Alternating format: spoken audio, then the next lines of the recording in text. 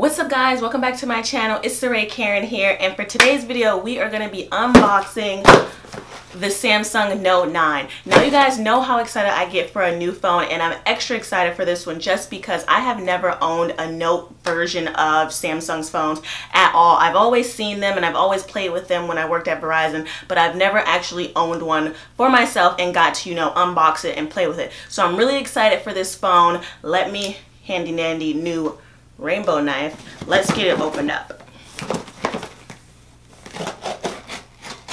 Satisfying as usual.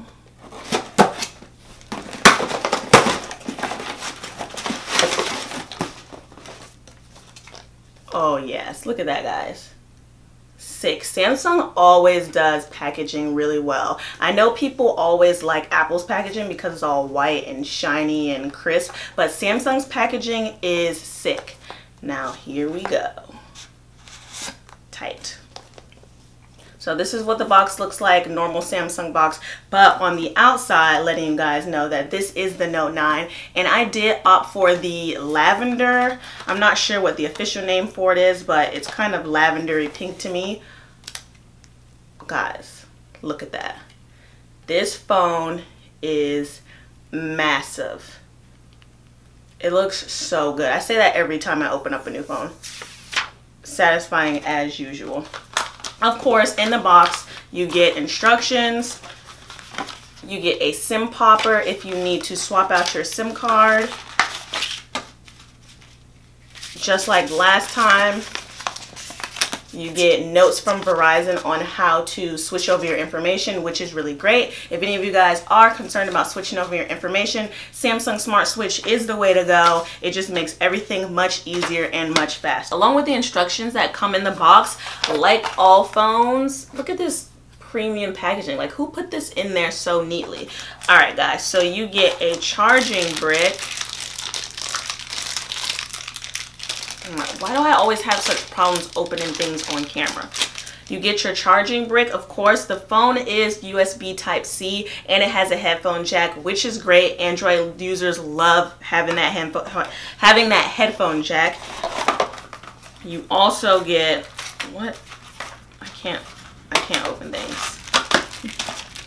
You also get your headphones and you also get your cable to connect your phone and that is it guys. Normally stand normal standard things that you get in a box. Um, i love that you know they did keep the headphone jack. I don't think that samsung is going to go away from their headphone jack at all because so many people like it. So let's peel that off. Uh, let's go over the specs really quick which are pretty impressive. This is the main reason that i think this phone is going to be the best overall everyday use phone. It is the most well-rounded smartphone out here on the market right now and you guys can definitely quote. The phone is 6.4 inches with the Super AMOLED display which you guys can see the super crispy uh, infinity screen on here. It looks really really really nice. It does come in 128 gigs or 512 gigs. The S Pen is super cool with that super capacitor that allows you to have your phone away from you for up to 30 minutes and still be able to interact with the phone with with the S Pen.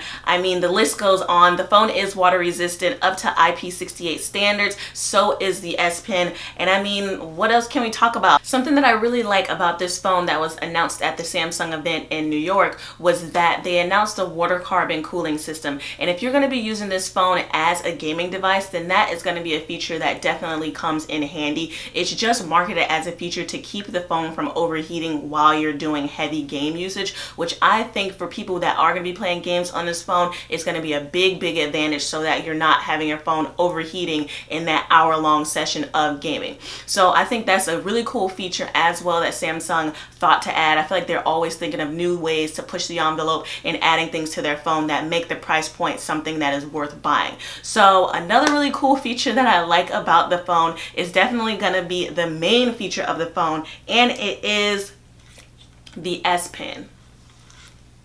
I really love the fact that this S Pen is the color of the phone you buy. This is, is pretty big, but look at it guys. This looks sick. I kind of wish that mine had like the yellow s pen. I don't even like the color yellow but i think it would have looked really cool. But the s pen you can use it as a remote which i think is super cool as well. If you want to have your phone and you want to take a picture you can just click on the button right here. If my phone if my camera is gonna zoom in. And there guys. I'm sorry if you can't see it. My camera wouldn't focus. But you can use this uh, button on the you can use this button on the S Pen to take a picture. You can use it to start and stop music. Now, the phone is water resistant. The S Pen is water resistant up to IP68 standards. So, of course, I think that's really cool that they made the S Pen as well as the phone water resistant. It does have wireless charging, all of the normal bells and whistles that normally Samsung phones do have. The biggest takeaway for me and for you is guys, if you need this phone. Now, a lot of people said on paper that this is barely an upgrade from the Note 8. I disagree. I feel like the phone with the battery capacity alone 4,000 milliamps of battery, this gorgeous Super AMOLED 6.4 inch screen, and then the fact that you do have the new features into the camera. It does have the same dual aperture like the S9 had, and I mean, I feel like overall, if you're going to keep this phone for two to three years, the Note 9 is the phone to be the one. That is the phone that you should keep for that time. Now, like I mentioned before, guys, the price does come in at a $1,000 starting for the 128 gig, and then it goes up, I believe, an extra $250 with the 512 gig. That is up to you guys. Like I always say, I'm not here to push my beliefs on you guys. This is not a sponsored video. Definitely get whatever best suits you. And I really think that's it. I just want to know, what do you guys think? I hope this video helped you guys make a decision. If you are someone that has like a S7 or uh, older note phone, not the Note 8, but an older note phone. Um, is this something that you think is worth buying? Do you like the S Pen? Like what is what is your take on it guys?